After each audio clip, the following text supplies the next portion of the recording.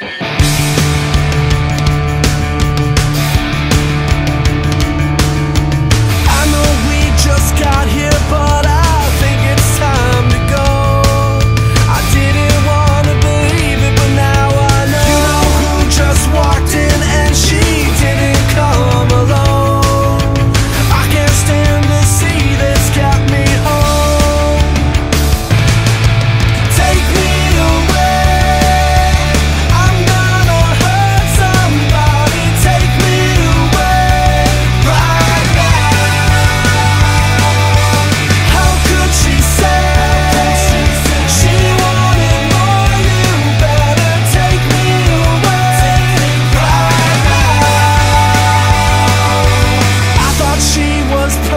she thought I was perfect too Perfect until she found someone new. Now I'm stuck here watching her